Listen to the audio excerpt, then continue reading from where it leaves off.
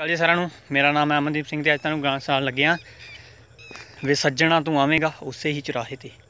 ਸੋ ਜੇ ਚੰਗਾ ਲੱਗਿਆ ਤਾਂ ਲਾਈਕ ਸ਼ੇਅਰ ਕਮੈਂਟ ਜ਼ਰੂਰ ਕਰਿਓ ਤੇ ਮੇਰਾ ਚੈਨਲ ਹੈ ਅਮਨਦੀਪ ਸਿੰਘ YouTube ਤੇ। ਉਹਨੂੰ ਸਬਸਕ੍ਰਾਈਬ ਜ਼ਰੂਰ ਕਰਿਓ, ਸੋ ਗੌਰ ਕਰਿਓ।